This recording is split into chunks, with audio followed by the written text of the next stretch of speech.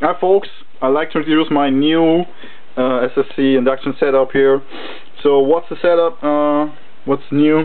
Here I have a micro Starship coil, like this one here, as a pickup coil.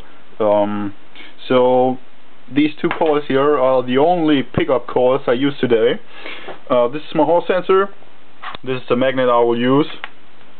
And I just put it here on top. So, um, alright, yeah. Uh, my amps here, this is a capacitor, and uh, my load, um, a 1K resistor here. Each of these coils run uh, through a different bridge rectifier, just for measurements and testings here.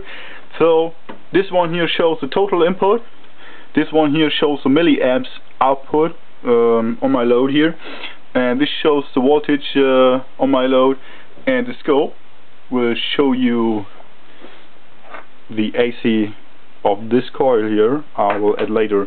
So before we start I'd like to introduce Michael from the band Junkyard. Hey what's up Michael? Hey what's up man? Let's check out on your album uh yeah, what's up? Uh, Wasted Years comes out on the 15th September, so I hope you will enjoy it, man. And I probably need that. Alright, so give me a hand and hold the camera, please. Alright, man. No and let's start this shit up. Alright, so let's try to start here. My little sister.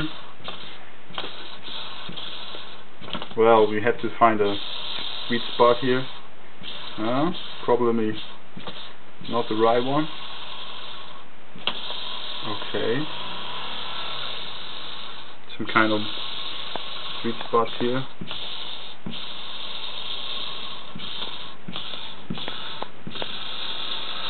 Okay. Looks good. Alright, so let's let's see what we got here. I just asked this one here, show me the scope right. So you see, I'm getting closer, I'm getting closer. Alright.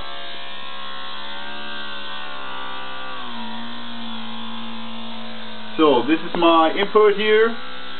Uh, at this moment, 12 volts and 0.85 milliamps.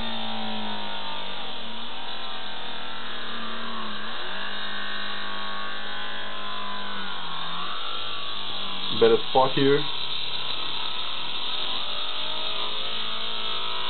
Alright, just uh, uh, show the load.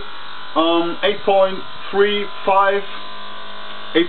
yeah, 3 milliamps on 8 volt output, just on my load here, the 1K resistor. So that's not the the best spot here, but I hope you see that. Well, I think that's pretty cool for just one pickup course here.